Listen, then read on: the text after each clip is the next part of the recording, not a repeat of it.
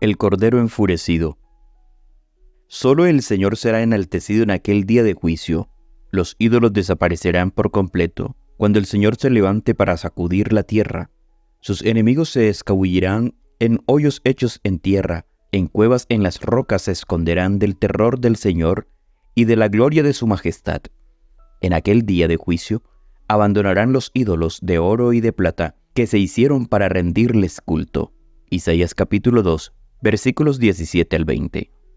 Cesan las burlas, enmudecen los labios mentirosos. El entrechocar de armas y el tumulto de la batalla han concluido, y las botas de los guerreros y los uniformes manchados de sangre por la guerra serán quemados, combustible para el fuego. Isaías capítulo 9, versículo 5. Solo se oyen ahora voces de súplica, llanto y lamentación. De las gargantas de los que se mofaban, poco antes surge el grito, ha llegado el gran día del castigo. ¿Quién podrá mantenerse en pie? Apocalipsis capítulo 6, versículo 17. Los impíos piden ser sepultados bajo las rocas de los montes para no tener que ver cara a cara a aquel a quien han despreciado y rechazado. Conocen esa voz que penetra hasta el oído de los muertos. ¿Cuántas veces sus tiernas y quejumbrosas modulaciones no los habían llamado al arrepentimiento. ¿Cuántas veces no había sido oída esa voz en las conmovedoras exhortaciones de un amigo, de un hermano, de un redentor?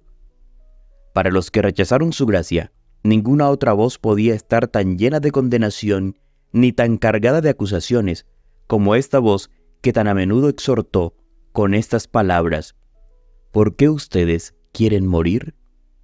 Apártense, apártense de su mal camino. Ezequiel capítulo 33 versículo 11. Ojalá fuera para ellos la voz de un extraño. Jesús dice, los llamé y no hicieron caso. Les tendí la mano y nadie atendió.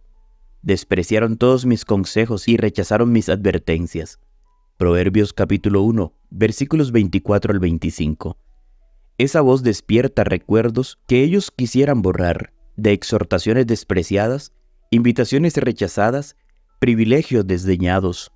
En la vida de todos los que rechazan la verdad hay momentos en que la conciencia se despierta, en que la memoria evoca el recuerdo aterrador de una vida de hipocresía, y el alma se siente atormentada por vanos pesares.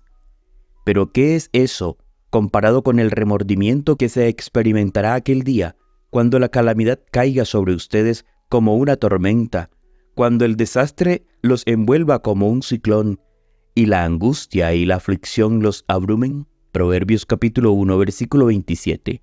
Los que habrían querido destruir a Cristo y a su pueblo fiel son ahora testigos de la gloria que descansa sobre los salvos. Matinal Maranata, el Señor viene.